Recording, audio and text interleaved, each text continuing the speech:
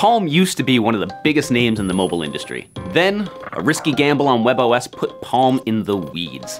HP bought it, sold some phones, shut Palm down, and that was that. Or so we thought, anyway. Palm is back. Sort of. In the form of a California startup, and its first device isn't the kind of smartphone you were expecting.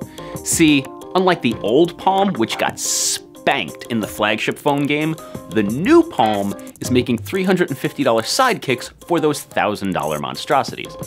No, seriously, Palm's cutesy new smartphone isn't really meant to be used by itself. It packs a 3.3 inch screen that's nearly as pixel dense as the iPhone XS, but, you know, tiny.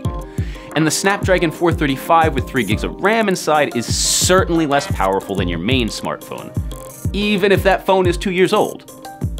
Plus, you have to pay extra per month to sync your calls, messages, and notifications between your main phone and the Palm. It's a neat idea, except that it's a Verizon exclusive that relies on the number share service, which doesn't support iMessages. So if you're an iPhone user, you're SOL. As far as the new Palm is concerned though, this is just the phone you need when you're out riding a bike or spending time with your family. It runs a full version of Android 8.1 and you can install just about any app on it, but the small screen and battery all but ensure you won't spend your entire day glued to this thing. The same goes for the keyboard, which is, uh, far from the easiest thing to use. Good thing Google Assistant is there to transcribe messages and generally help sort things out. While most smartphone makers try to squeeze in every little feature, Palm only wants to give you the bare essentials.